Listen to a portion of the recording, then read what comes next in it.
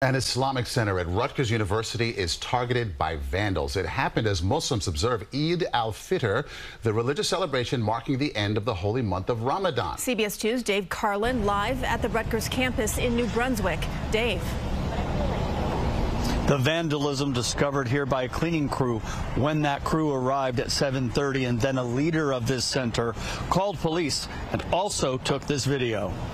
It's Eid morning and unfortunately, it seems like last night there was a break-in at CILRU as well. There's glass everywhere on the floors. They broke something that says MashaAllah on it. A hateful mess greeted those returning on Eid morning to the Center of Islamic Life, or CILRU, on the campus of Rutgers University. Cut the TV, a lot of the artwork on the walls. Looks like they ripped the flag from its pole, and then our prayer rooms as well.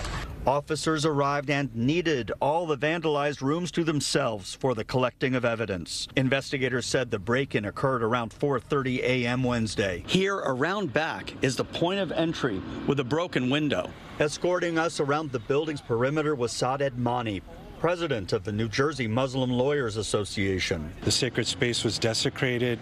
Art pieces with Quranic verses were destroyed. It's not reflective of my experience at Rutgers. I'm a Rutgers alum, uh, and it, it, this is not, uh, you know, what I uh, felt here on campus. New Jersey Governor Phil Murphy posted on social media that he is disgusted by the incident, and the president of Rutgers University sent out an alert to the campus community, calling this a criminal act of bias and hatred. I got the RU alert? That was terrible. It's a horrible thing to happen that people can't live in peace. It's Eid day, so we still say Allahu Akbar, Allahu Akbar, Allahu Akbar. God is still greater, God is still greater, God is still greater.